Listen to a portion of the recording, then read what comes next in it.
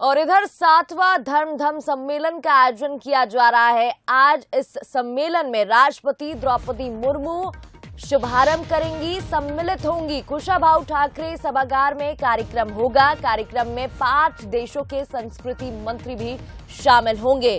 तो राजधानी भोपाल से ये खबर है, सातवां धर्म धम्म सम्मेलन का आयोजन और राष्ट्रपति द्रौपदी मुर्मू सम्मेलन का शुभारंभ करेंगी। कार्यक्रम में पाँच देशों के संस्कृति मंत्री शिरकत करेंगे। भूटान, श्रीलंका, इंडोनेशिया, नेपाल और भारत के संस्कृति मंत्री इस कार्यक्रम में हिस्सा लेंगे। तो नए युग में मानववाद का सिद्धांत विषय पर कार्यक्रम होगा, थीम रखा गया है। सुबह ग्यारह बजकर पचास मिनट पर कार्यक्रम स्थल राष्ट्रपति द्रौपदी मुर्मू पहुँच जाएँगी। कार्यक्रम में राज्यपाल मंगूभाई पटेल और सीएम शिवराज सिंह चौहान भी शामिल रहेंगे।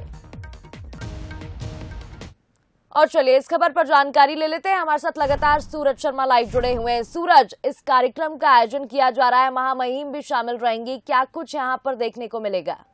देखिए मध्य प्रदेश की धरती के लिए गौरव की बात है कि आज धर्म धर्म सम्मेलन जो है मध्य प्रदेश में हो रहा है। राजधानी भोपाल के मिंटो हॉल में कार्यक्रम आयोजित किया जाएगा, जिसमें करीब पंद्रह देशों के साढ़े तीन सौ से ज़्यादा चिंतक मंथक और जो रिसर्चर्स हैं, वो शामिल होंगे। इसके अलावा पाँच देशों के करीब पंद्रह से ज़्यादा जो विदेश मंत्री हैं, मंत्रिमंडल के साथी हैं, वो शामिल होंगे।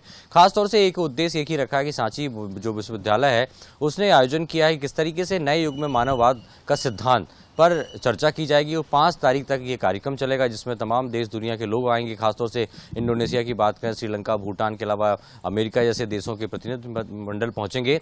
राष्ट्रपति द्रौपदी मुर्मू बारह बजे भोपाल पहुंचेंगी और इस कार्यक्रम का जो औपचारिक शुभारंभ है, वो किया जाएगा। खासतौर से मुख्यमंत्री शिवराज सिंह चौहान, राज्यपाल मंगू भाई पटेल, संस्कृति मंत्री ऊषा ठाकुर सहित तमाम जो वरिष्ठ नागरिक हैं और इनके अलावा जो धर्म धर्म समिति से जुड़े पदाधिकारी हैं, वो इस कार्यक्रम में शामिल होंगे प्रगति।